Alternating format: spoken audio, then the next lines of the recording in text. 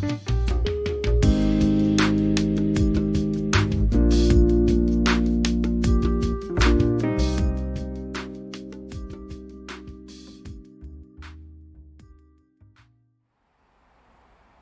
guys, Clumsy here. Welcome back to ETS2 Season 2.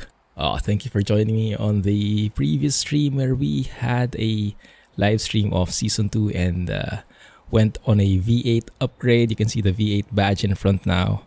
We are now in an R560 engine from Max and the interior is totally redesigned if you haven't seen the stream. Yes, a blue and white thing right on brand with clumsy colors. I did like a dark mode, a night mode, and a light mode, right? Two modes. And seems like you guys like the light mode more, this one. So we're going with this one unless someone has a violent reaction, let me know. But I'm liking it. And then in addition, Panda also gave me some modifications on the dashboard. I think this looks nicer. A combination of uh, black background with blue highlights I like the dials this way. Very, very classy looking. Nice. So yes, today guys, uh, I've been looking forward to this because now we can finally get to the new ProMods 260 areas. And sorry, I, I don't have it with me, but um, I know some members of the ProMods team watched the video, so thank you very much for watching. But even more, thank you for making this all of this hard work for the entire community. So thank you for the hard work and please let me know who the author is of this area because I've seen photos of it and my goodness, this is one of the highlights of ProMods, ProMods 260 if I uh, yeah, were to gauge it. So let's go and drive. It's going to be a bit of a uh, detour because we're actually going to be delivering here in Are. Are? Yeah but uh, we'll make it, it, the long way around, the scenic route basically. And I think in this case, it really will be the scenic route. Alright, so without further ado, let's turn off the GPS there, listen to Lori, let her guide us along the way so we can focus on the views. Off we go. Turn left. So if I remember correctly, you guys were mostly okay with the audio. Although I do remember there was someone who was commenting about the indicators. They didn't like these indicator sounds. I think it was a bit too loud for them. So let me know if you guys feel the same. I can lower the interior volume. Personally, I like it. Um, I like the clicky sounds Exit ahead. and the interior sounds of the stick, the parking brake, right, the indicator, uh, the blinker sticks, and everything when you turn on the retarder or the wiper, maybe. All those sounds. I kind of like the volume where they're at, but I'm open to suggestions, so let me know in the comments, okay? And then in terms of the engine sound itself, from my ears, it sounds perfect the insulation that Max brings to this engine is amazing with this new update. Like, just compare and contrast when I open the windows on how loud the engine actually is. You can really hear how gruff each and every detail is crisp with Max's sounds. But when you move your windows up, all of that gets muffled and you get presented with this amazing cabin insulation. Thanks to version 143, but even more thanks to Max's uh, rendition update of his uh, sound pack. And this is all free. So, Max, thank you for the hard work and uh, thank you for giving us this experience of uh, proper insulation in a yeah, relatively modern cab, right? They you wouldn't really call this truck a classic. It's not the newest model, but it's definitely not a uh, a vintage one. So it has a modern type of um, insulation already. And yes, from what I've heard from you guys, especially from the real truck drivers, either retired or still driving from Europe, you guys have been telling me that the sounds are really like this in real life. Like you can speak to each other in a normal voice. You don't need to raise your voice to speak to each other if you're inside the truck, and you will understand each other fine because the insulation is really just amazing. So I, I guess the engines themselves are not as loud as the old school days, right? But even more so, the insulation inside the cab is uh, really something next level. So let me take you on a bit of a tour while we're uh, on our way here on our new interior. You can see all the customized uh, stuff, all the colors, blue and white. I really love it. The the Vabis wheel adds that vintage feel. Oh my goodness, in this. I'm not sure I can tour the interior so much because it's starting already. The views are starting already. My goodness.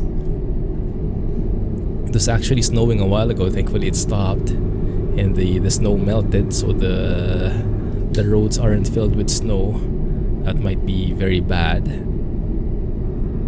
especially bad for sightseeing but also bad for my driving. Might make the roads a bit more slippery. But yes uh, let me take you on a tour if in case you didn't see the video because i did live stream it. It's in the playlist. If you want to check it out it's three hours where we drive where we tested different configs looked for the dash the interior config that we liked the most and uh, test drove it in the snowstorm and all that stuff so you are free to watch that. It's in the playlist too. But yeah i decided the live stream would be best for this these kinds of things where i would want some um, real-time feedback as we adjusted the options. So yeah there was a dark mode and there was a light mode. And uh, so far it seems like the light mode is uh, winning. Oh interesting. What is this okay do we fit there first and foremost? Normally there would be like a vertical clearance right? Maybe there was maybe i missed it. But yeah this seems awfully familiar in these areas. Like i think i've seen although that's in sweden yeah this might not be exactly the case. But yeah i think i've seen something like this in real life videos watching in youtube. Those small one-way um, what do you call it? It's not a tunnel it's an overpass but we're not the ones going through the overpass right? Oh i like that though. I really like that. Cool. And yes mountains all over guys. I'm having a hard time choosing which one to pick for the thumbnail. It's going to be 600 kilometers more or less. So it might take up two episodes. That's all good. We'll find a photo here or there. Oh, this might be a candidate. Nice. Is there these rivers or maybe lakes surrounding? Actually, the, the, the road goes through it, right? It must must be a the single, um, the same body of water. Just that they decided to make a road to to pass through it. The bad thing though, because is it it seems like it's starting to fog up. It's not going to be good for the visibility. I sure hope it doesn't snow. Hmm. Well, keep your fingers crossed, guys. But yeah, the visibility is not looking great. It is looking real though. It is looking real. So there is that. And so far, Lori seems to be very quiet. I'm starting to worry that we're in the wrong spot. Okay, let's okay. Maybe let's keep it open for now. I just remembered I still haven't fixed the speed limit uh, location. It should be in the lower left by now, I think. I have some conflict in my load order. It's okay, it's not a big deal. You can still see from it. But yeah, the vibes here, right? It feels so cold. I I can almost feel how cold it is. Oh my goodness, the vibes. But yeah, it's great to see that the uh, Grimes Frosty mod is working great with uh, the ProMods areas. Normally, they don't recommend you use season mods because the, your mileage may vary, basically. They haven't tested other textures. So when ProMods team, when they make their maps, they mostly work with default textures, which is understandable. because that uh, is the most compatible, most used case. But yeah, it's uh, when you add these seasonal mods, sometimes you start seeing trees that go beyond, right? Start seeing trees that go on the road, you know, uh, things that were not designed to be that way. But so far, looks okay. On Åndalsnes, probably something like that. Now in Åndalsnes. And I'll be keeping the After GPS on Yards, because I'm looking for the viewpoints. Lori will not be able to point out the viewpoints, so we will have to find that ourselves. No one here. Looks pretty eerie. There are some cars parked, but my goodness, it looks pretty scary, isn't it? Doesn't it? It's a shell station here. Do we need fuel? Not really. We're good. Yeah, look at that fog. My goodness. It's getting thicker and thicker, definitely. Ay, ay, ay. High beams? No. You guys also told me, and I really like that tip, to try it. So I remember in, actually, it was the ATS OwnOps. We were driving at night and I was turning my high beams on and off. Was turning them on when there was no car on the road and then turning them off when we were meeting someone on the opposite side of the road so they don't get blinded. Um, so you guys told me that uh, it's better actually to stop of stop using the high beams beams at all. Avoid using them and uh, let your your eyesight let, your night vision acclimate to the low beams so that you wouldn't need to do that on and off thing and it will be safer. It will be less workload and yeah your eyes will eventually get used to the the darkness. It's a very good way of uh, putting it maybe we'll try that next time it's not going to be that good for the video maybe because it will be very dark that is the electronic pass kind of thing oh i see a huge bridge well, I see the bridge and nothing else. Um, let's see, let's have a look outside. Oh my goodness. Yeah, well, we're seeing silhouettes. Seeing silhouettes of the mountains as we go. So this might actually be something we can take a photo of later. We'll see in the thumbnail if it this ends up being the thing. But yeah, this looks promising. Lots of roadworks here at the moment though. right, slow it down, keep it at 60. Very nice view. Looks like the fog is also starting to dissipate. Thank you, that will be great for us. Sorry, ahead. There you go. All good. I love it when this engine starts to really work for it. When you want to really start accelerating as fast as you could, you could start hearing the engine really work and grumble. Let me show you. That one. When you need the power, it's there. Just trying to let it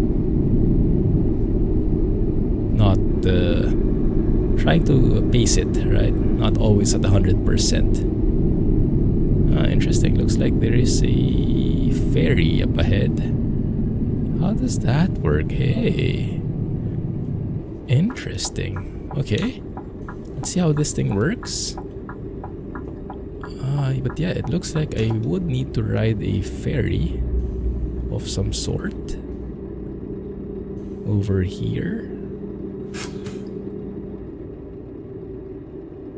I have no idea. But it's a dead end for sure. Alright, let's see. Oh yeah, there you go. Uh, 35 minutes, 90 euros. Oh my goodness, to cross that island, I guess. Okay. Alright, we're here. Oh, I was hoping it you could actually see it. Ah, that's okay. Wishful thinking. Although it is starting to get dark. What time is it? 4 p.m. Oh, I love those sounds.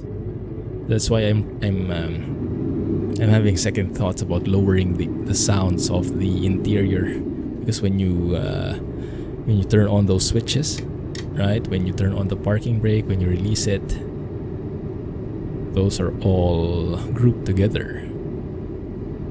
So it won't be the best. Um, it will be too low when I lower the interior right. sounds. Turn right. Where? Oh, here you mean. Okay, sure. This one is going to Trondheim. Oh crap, sorry sign. Whoop. A bit too skimpy for this truck right here. Yikes, nothing happened guys, nothing happened. Yeah, I like the, uh, the very subtle grumble of this engine. Very good. Alright, off we go. The road network is very nice. Feels very much like a small town, right? And the roads are properly small as well. But yeah, this one actually seems a lot more uh, populated. Lots more cars here. Lots more activities. And it does feel super cold in here still. Which kind of makes sense. How cold is it? Negative 4. For Norway, that might not be actually that bad, huh? Thank you. Yeah, hear her grumble. The engine at work. Didn't know there was a Tesla here. Oh, I see a viewpoint, guys. Yeah, let's do it. Let's do it. It's like lots of boats here. Um, this is not the. Oh, where is it? Oh, that's I think where we need to go. Crap. That's not going to be easy for us. Is there going to be a way to make a U-turn afterwards? Might not be the easiest thing to go through. Cross the road. Third exit. But I mean, for you guys, we'll risk it. So we can uh, tour this together. Alright, let's do this. And if it gets dark, I will sleep. We'll wait for the morning. It's okay to be late with this job. It's not the priority at the moment. The priority is sightseeing. The I, I was actually willing to go through this part of the area. This wow, the part of this road, even without a job, just for the sightseeing. So yes. Yes, Lori, this is a detour, I know. So here should be the viewpoint. Turn around when possible. I know, I know. Give me a sec. Alright, let's go. Get some views. What is this? Molde. Molde? Does look like a. How do they call it? A ferry? A dock area? One of those areas with lots of uh, boats. Is it for fishing? For uh, leisurely boating? you, you, you would know I know a lot about boats with the terms I use, right? Ah, very cool. And yes, overlooking all of those uh, mountains at the back, man. I wonder if I've flown here already.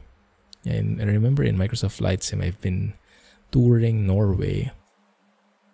I've gone from the north uh, end, making my way south, passing through many other places. This must have been one of them. Could be. I've seen many areas uh, that are super scenic, but are looking like this, and my goodness, add the sunset on top of that. Just just looks even more amazing, doesn't it? Wow. Cool. Oh, looks at that. Are they taking a selfie? Maybe. Don't take a selfie here. Just take that photo like that. And yeah, looks like the, the snow here isn't so thick. We actually see a bit of the grass peeking out. The snow is starting to, to melt. At least in this area, the, the mountains are fully snowed in. Which makes a lot of sense. Okay. Now the next question. How the heck do we turn around? Uh, um.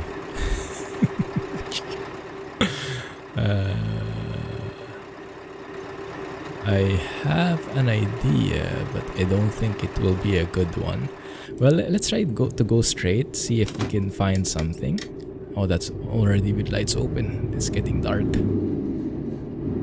Yeah, a while ago I was tuning my light settings in here. I was I actually maxed them out because they looked a bit dark. But maybe at night it will be too much. Oh, that's only now we discovered Molde. Interesting. Okay. So yeah, um let's see. Maybe there is a U-turn slot up ahead if we're lucky. I don't think we will be that lucky. Can I use the stairs to go up? Probably not. Ay ay ay. Ay ay yikes. Yeah, looks like we're trapped guys. We might have to reverse all the way in. Um so I'll spare you the pain because it will take a while. I'll meet you guys back there when I've uh, reversed already, okay? Catch you guys in a bit. Okay, welcome back. Made that last turn. It's not so bad. I actually used that, uh, yeah, that one, that open area right there. There, there. To reverse into. It was not that difficult, thankfully. But what's difficult is it is getting dark. Maybe I should have slept there. Hmm. Well, I'm hoping there is kind of midnight sun happening in here, but uh, I'm not sure. I think it's the opposite in Norway, right? When you are in winter, you get the very minimal daytime. So I'm not sure we might actually not get so much. It might actually get dark, and it might actually not get bright in a while. Hmm, yeah, it's it is getting dark. Dang it. Although in a way, it is kind of dreamy, isn't it? Like you have those lamps with a nice foggy effects there, and then we're still seeing the landscape, so it is not bad. But I think I will try and sleep somewhere nearby. Yeah, and we can maybe continue next episode because yes, this uh, as scenic and as um, nice the ambiance is of this night driving here in this part of Norway, it does feel like um, it still would be better if we drive in daytime. So I might just do that. We'll see one second. Yeah, it looks like we have quite a ways off still, so next episode is when we could probably do that. Is there a rest area nearby? doesn't have to be a rest area, maybe even just a shoulder. And we can see there's a sign here. Maybe that's, yeah, that looks like a stop. No, it's actually a toll gate only. Hmm, crap. Yeah, because this one, right? It's nice. But I think it can make it even nicer. So what I'll do is I'll look for a maybe somewhere here. Oh, that looks scary though. Might go to a dead end. In that house, maybe I can stay there for a while, although I'm not sure if they'll let me in. I'm not sure if they're that welcoming to strangers. I do have 14 tons of ice cream at my back though. So uh, we can we can use that as leverage. I'm sure we can change a few minds with some ice cream. Although that being said, maybe not because it is super cold outside already. Uh, oh, this one. Yes, this is where we can stop. Yes, yes. I see a an establishment here. This might be a distribution center or something. Oh, yo, yo, yo, yo, yo. Don't go beyond. Oh. Go past it. Oh, crap. Okay. No problem. So we're going for a bit of a detour. We're staying here for a bit. Turn around when possible. and uh, look somewhere to spend the night. And I will catch you guys in the next episode where we will continue our journey and explore the rest of the new areas in Norway from ProMods 260. Okay, so catch you guys in the next episode and wish me luck that I can find a suitable spot because it is looking pretty eerie in here. Oh my goodness. Okay, there seems to be a guy. Alright, alright. Someone's actually marshalling us in. Thank you. Yeah, this looks good. Alright, guys. Let's end it here. Catch you in the next episode. Thanks for watching. Have a nice day. Clumsy Trucking. Man, one second. This setup actually looks great at night, huh? Nothing too nothing too shiny. And yeah, the the black um, background with blue highlights really shines in a good way at night. Awesome stuff, Panda. Thank you for the hard work. Amazing stuff. Thanks, guys, and catch you in the next episode. Bye.